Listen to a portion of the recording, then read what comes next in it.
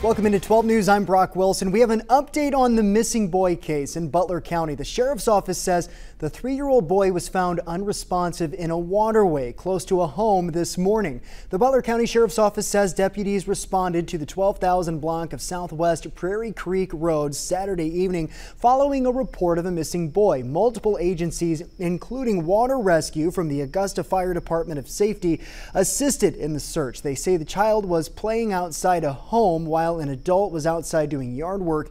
The child wandered off and disappeared. The search continued throughout the night, but it wasn't until around 7.30 this morning when the child was found in a nearby waterway. The sheriff's office says the child accidentally drowned. An autopsy will be done to determine the official cause of death.